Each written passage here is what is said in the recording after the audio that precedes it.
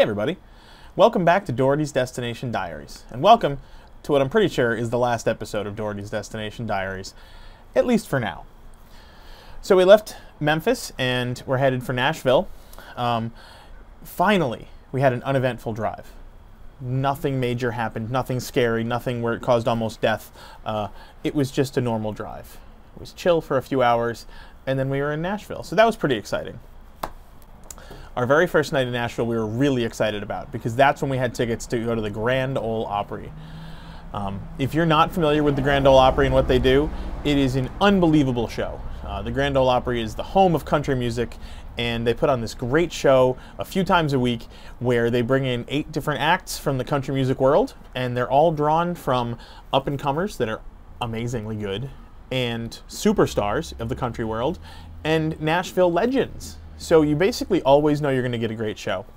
And the eight acts get 15 minutes each, and that's it. And they make the same like union scale wage as everybody else. So it doesn't matter if you're the biggest star in the world, you get paid the same amount and you get your 15 minutes to get on stage and sing and get out of there. It's an incredible show. Uh, the cast when we were there was unbelievably cool. Uh, a handful of old Nashville legends, and and by old, I'm not kidding. There there were some older people there, and they were great, just fantastic performers. The up and comers were awesome, and the headliner that night was Carrie Underwood. Aiden and I felt it absolutely necessary to dress up for this occasion and find another excuse to wear our cowboy boots and hat. All right, we're at the Grand Ole Opry. Show's about to start. Aiden, are we excited? We're excited. I can't wait. It's gonna be so much fun. Check this out. This place is so cool.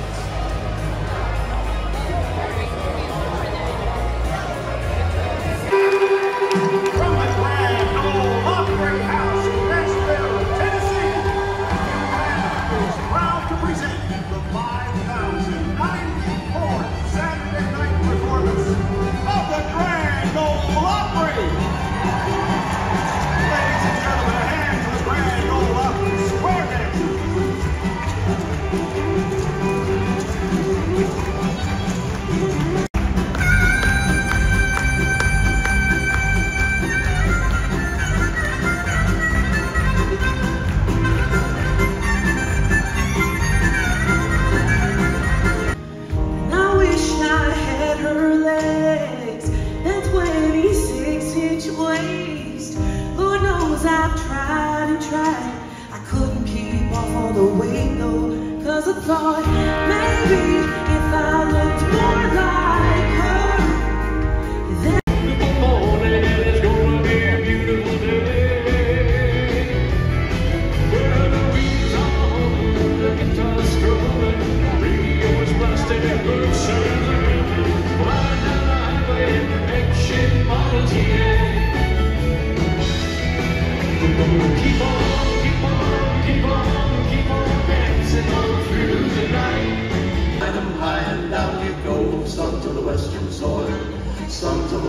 for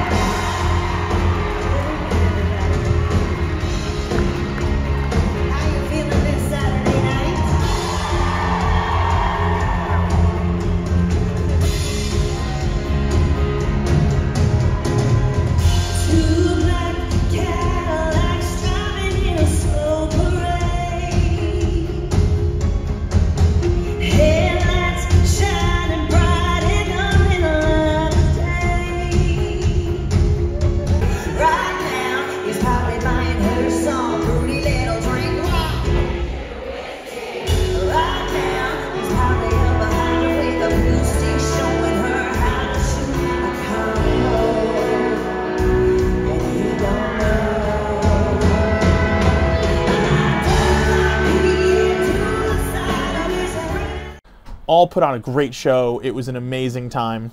Day, day two of the Nashville stop included shopping at the Opry Mills Mall, which is a really cool, big mall uh, right near the Grand Ole Opry. And then we did some touring of downtown. It's a really cool town. Um, I definitely felt like I wanted some more time, and there was so much to see. All right, we are touristing Nashville today. We are at the Ole Smoky Distillery and Yeehaw Brewery, having some beers and some moonshine. Good stuff. Beers are delicious. Uh, we haven't gotten any food yet. I'll let you know if we do. Reaction to the uh, pretzel. And that pretzel, right there. It's real good. Lena?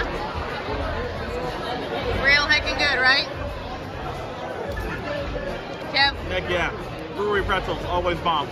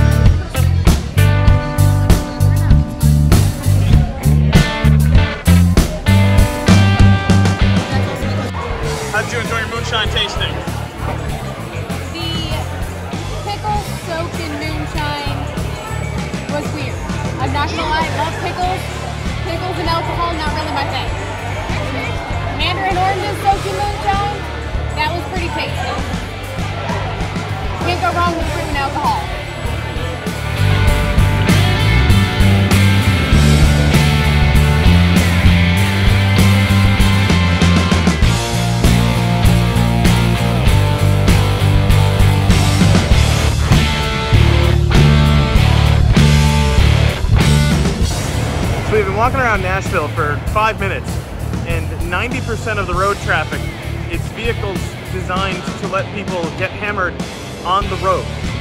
It's interesting. Less fun for kids though. You having fun, Em? Yeah. Hey, we having fun, buddy? We are scooting around Nashville, having a good time.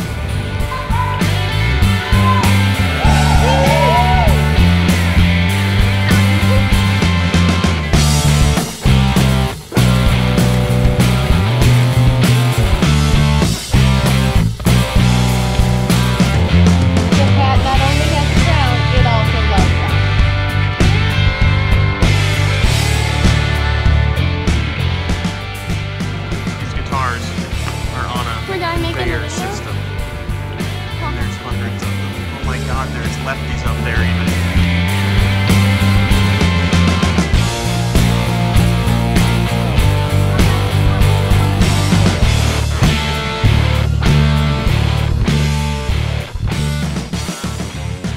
Day three, we kind of took off. It was our last day of the official part of the trip. All we had left was three days of a drive.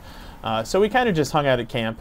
Um, we did get new tires put on the camper because I, I had been a little spooked by that Memphis drive, and uh, I realized that the the most likely point of failure in our vehicle was the front tires. So we got two new tires for the front, even though it was only three days drive back.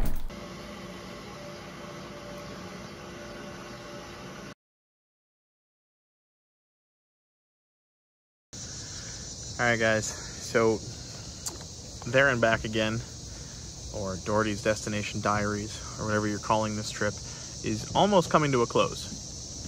Um, we are on our first of three drive days to get home. So, you know, it's kind of exciting. It's kind of sad. Um, it's a little bittersweet overall.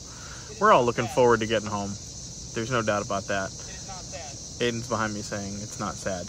Um, I'm a little sad, but mostly pretty happy to get home. So, you know, that's exciting. Uh, looking forward to sleeping in my own bed. I want to see Belle, the ferret. We miss her a lot. Um, I'm not really excited for the start of school because I don't feel especially rested. I don't know why. it's been kind of a busy summer. Um, but yeah, we're sitting here in a KOA outside of Cincinnati. Uh, tomorrow we're driving to Pittsburgh. We're going to visit the Keelties. That's uh, Ashley, my sister, and Pat, my brother-in-law, and their kids. And uh, and then home the next day. So yeah, uh, day after tomorrow we're going to be home, and this whole adventure will come to a close. Finally. So yeah, it really is kind of bittersweet, though, Aid. I've been Don't you think? forward to this day for two.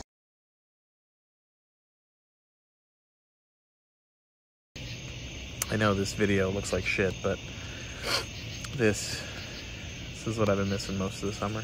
Camping. We've been in a camper, but I wouldn't call what we've been doing camping, but tonight feels like it. We're here in a beautiful campground. It's a beautiful night. Sitting here at the fire. And uh, only a couple more days till we're home. I don't know how to feel about that. Kind of emotional about it, honestly. This has been, I think, the greatest experience of my life.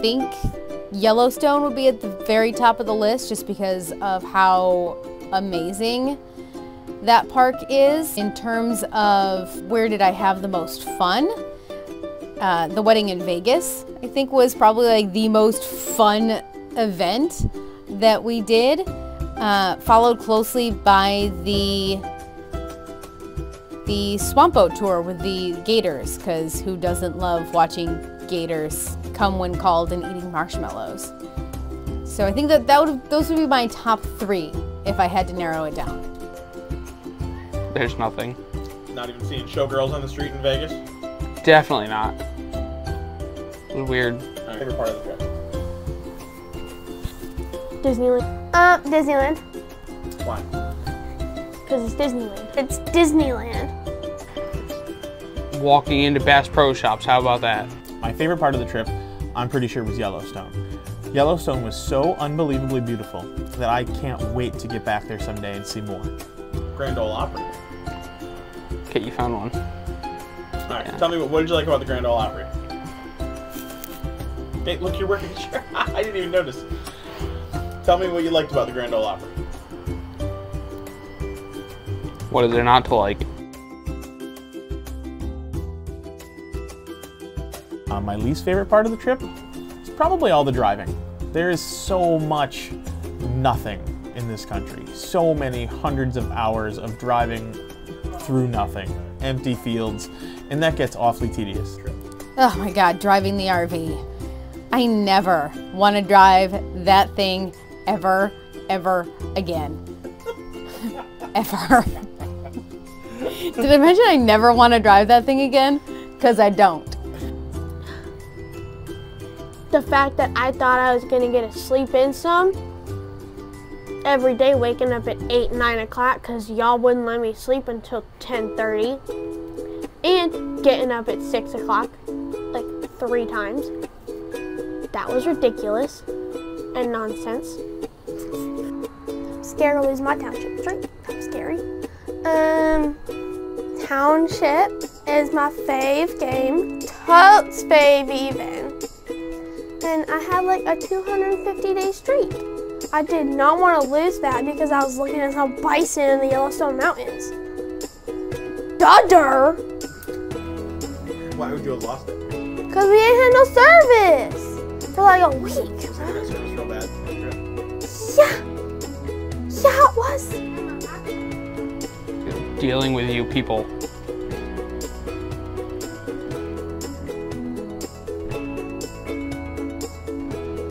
Hardest thing about the trip was having to look and smell my brother for 60 days straight.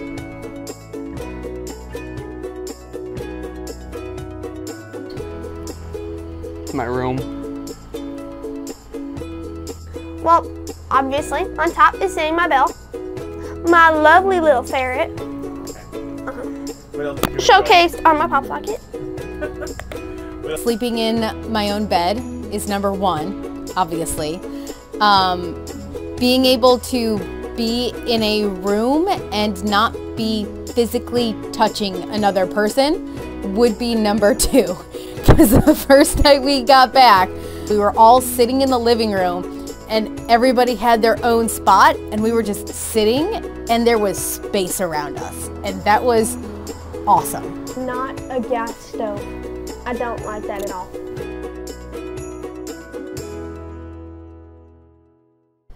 Overall, like, I don't think that we could have asked for more from the kids. Like, obviously, they were a pain in the butt when we were trying to do recording and stuff, and Aiden was pretended to be miserable and a jerk, and he really wasn't. And so that was a thing. But they were super responsible with the jobs that we gave them to do about, you know, on pack up days, drive days, the things that they had to do. They were willing to do it. They didn't complain about doing it. Um, given the amount of exhaustion that we all felt, um, they did amazing, and I don't think I could have asked for more from them.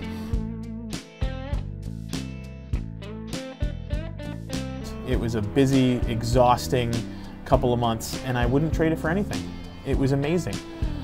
I think we are closer as a family. I think we all saw things that we just couldn't have imagined seeing. Um, it was really, it was special.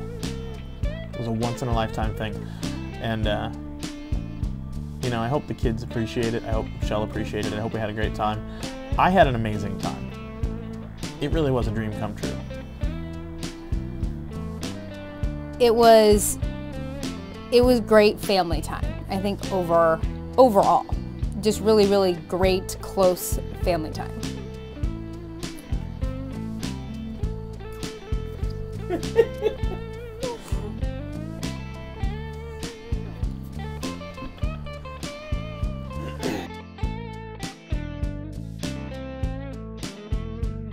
The answer is we're never going to do that again. That's a once in a lifetime thing. It was it was so much in such a short period of time. I don't want to do that again. I wouldn't change it for anything in the world.